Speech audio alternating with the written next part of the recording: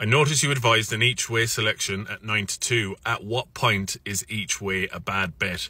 Now, this is an excellent question because a lot of people won't really have a handle on the reality of this. And uh, there's a few things to go over. The first thing is that a lot of people out there, some people out there, uh, like to bet win only. And that's fine. You know, if you're not an each way punter and you're a win only punter, that's your prerogative. That's a, that's absolutely fine. But each way punting is in my DNA um, and it's what I am. And you know, it come for me. It comes from kind of my mentor, the person who originally taught me how to read Racing Post form. To to this day, this is a guy in his sixties now.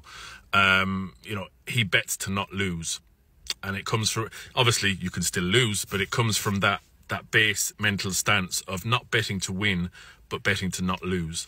Um, now, obviously, a large portion of our selections in the main line are at much bigger prices. You know, 10 to 1, 12 to 1, 16 to 1, all the way up to 66 to 1 to 100 to 1. We've, we had a 100 to 1 horse placed uh, in January.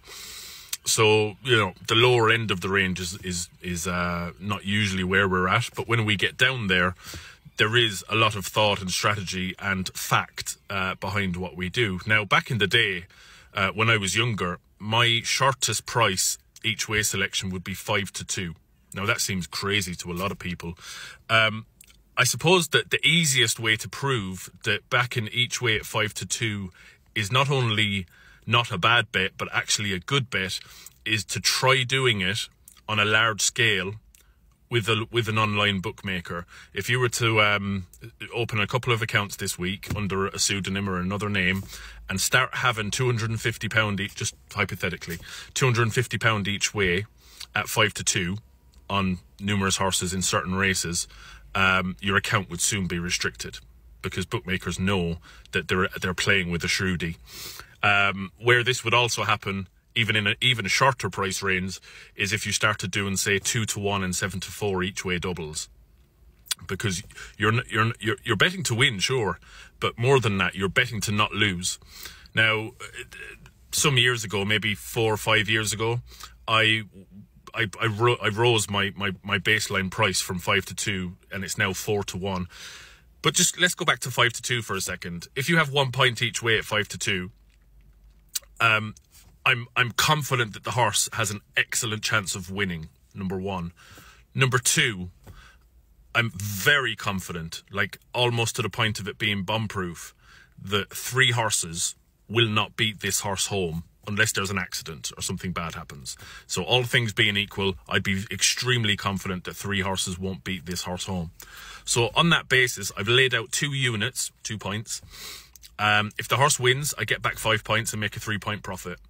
If the horse only manages to finish second or third, I get back uh, a point and a half. So I lose 25% to my stake. Okay, I've lost 25% to my stake. But the upside is I've kept and retained 75% of my stake. Now, just say for the sake of instance, I back, eh, you know, back in the day, this before I rose my, my base uh, price, um, I backed four horses in a month uh, at my baseline price, a point each way, and all of them finished second, right? And uh, you know, I've uh, it's it's it's it's a pisser. I haven't had a single winner out of those four bets, but I've still retained uh, three points in my bankroll and that three points could be the difference between winning and losing that month.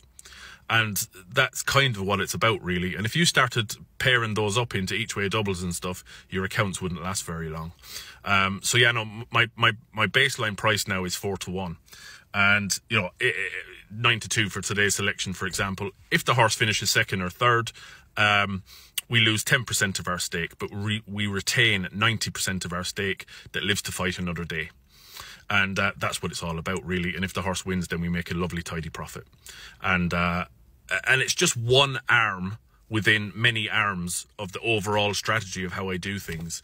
So um, yeah, not only is it not a bad bet, it's it's a good bet. And as I say, um, the best way to prove that is to start backing five to two shots to chunky money uh, with your with your bookmaker and start seeing how they react. If it's going well, you have to obviously be good at what you're doing, um, but they will notice that. And trust me, that the odds compilers will not see what you're doing uh, as bad bets because it's it's when done properly, it's it's very shrewd stuff. All right, thanks for your question, mate. I hope that clears up a few things.